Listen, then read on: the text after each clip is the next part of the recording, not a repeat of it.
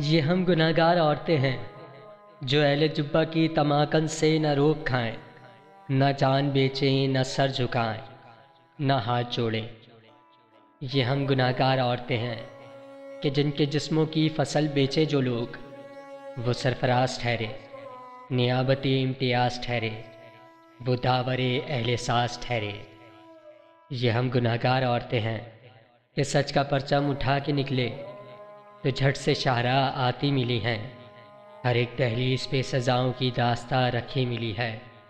जो बोल सकती थी वो ज़बानें कटी मिली हैं।